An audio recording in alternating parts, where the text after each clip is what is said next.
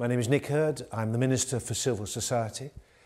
Uh, I've been the Minister for three years. I was the Shadow Minister before then. And uh, I just know how important the voluntary sector is to our society. But uh, my experience is that it's the small local charities that are often the backbone of the voluntary sector. And I've seen so many examples of the years of fantastic small charities doing incredibly valuable work with very limited resource. They are the backbone of the voluntary sector.